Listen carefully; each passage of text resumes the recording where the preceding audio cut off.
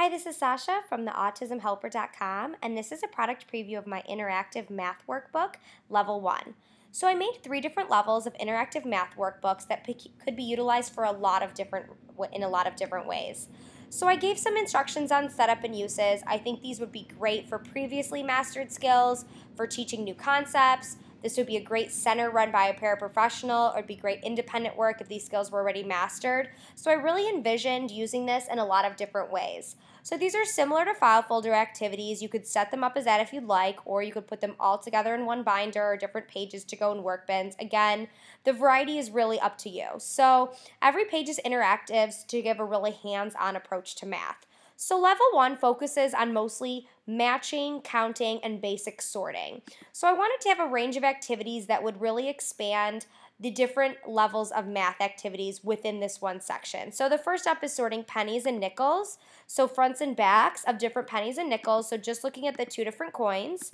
Next is dimes and quarters. So they'll really be attending mostly to the size when they're doing this since this is our lowest level workbook. And next is matching the coins. I really love this one that there's a lot on one page. This isn't going to be something they fly through. They really have to attend and make sure they're matching the fronts and the backs correctly. So really building that attention when working on a matching task is so key. Next, count and match. So count the items and then match the number. Another count and match, count the items and match the number with the number word. And then this is sorting the numbers. Again, this is a really great one to just work on building those number awareness skills. So here's one, two, three, and four, and then all of the different number pieces with all different fonts. So we really want to incorporate teaching multiple exemplars in our teaching sessions. This is something I talk about all the time on my website. But a 2 is a 2 whether it looks like this or it looks like this. So this is a great way to incorporate multiple exemplar training right into your work tasks. So the next one is similar, 5 through 8, with the different numbers. And next up are some tracing pages. So tracing numbers 1 through 20, tracing the number words. So I laminate these and use dry erase markers. It works perfectly. You could also use them as worksheets.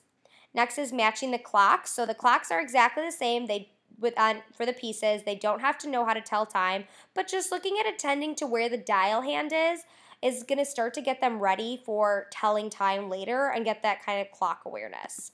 So next is matching the numbers on the clock. So again, working on that clock awareness skill. That They're going to be matching the different numbers around the clock. And next we're on sorting shapes. So putting all the things that are rectangles and all the things that are circles. So kind of those advanced sort um, uh, sorting skills. Next is tracing the shapes matching the shapes. Again, putting a lot of matching pieces, all the same color on one page, so they really have to attend. And then matching the patterns, so matching the AB, AB pattern.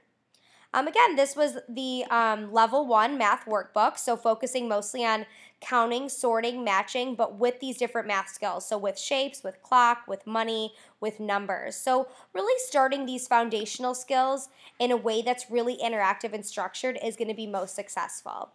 Thanks for watching from the autismhelper.com.